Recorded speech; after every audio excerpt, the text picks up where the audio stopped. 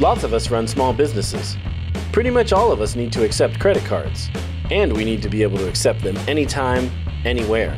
Like here, here, and here. Uh, probably not here yet. But if you work here, here, or here, you might need this.